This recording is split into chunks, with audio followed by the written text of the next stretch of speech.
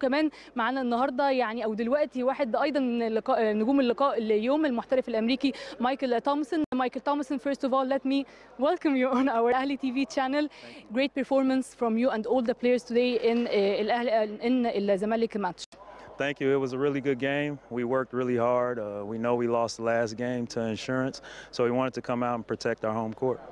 يمكن طبعا يا كابتن هيثم كان بيقول إنه يعني عارف إنه المباراة النهارده كانت يعني ممتعة وإن هم قدروا يحققوا يعني فوز مهم على نادي الزمالك طبعا بعد الخسارة أمام نادي مصر للتأمين عشان طبعا يحافظوا على مكانتهم في بطولة الدوري مايكل تومسون also I want to talk about uh, the next step, the next matches, how you're gonna uh, prepare for the next matches. The same way, we will continue to work hard, watch film, and correct our mistakes, and continue to work hard and play together.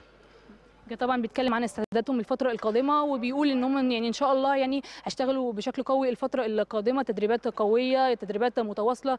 طبعا يعني عشان يعني يفوزوا بجميع المباريات الفترة القادمة مايكل تومسون we saw that the last days the last period Michael Thompson performance wasn't um, very good in the old matches.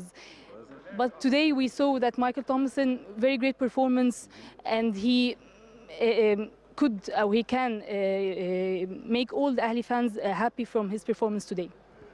Oh, when I play, I play to win and to help my teammates. I'm not playing to try to make fans happy.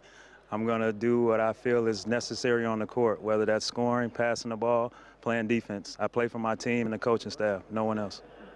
طبعا يمكن بيتكلم عن اداؤه الفترة القادمة وبيقول إن هو يعني الحمد لله قدر إن هو يعني الاداؤه يعني النهارده كان أداء جيد مع جميع لاعبي النادي الأهلي وإن هو دايما يعني بيحسن طبعا من ادائه عشان يساعد زمايله في الفوز في جميع المباريات يعني وكمان عشان يفرح جميع جماهير النادي الأهلي. مايكل تومسون thank you so much for this interview and I hope all the success and happiness and uh, everything for you the next uh, period the next time. Thank you so much. شكرا. شكرا. thank you كده طبعا كان لقائنا يا كابتن هيثم مع المحترف الأمريكي مايكل تومسون اللي طبعا كان بيكلمنا عن يعني أداؤه في المباراة اليوم.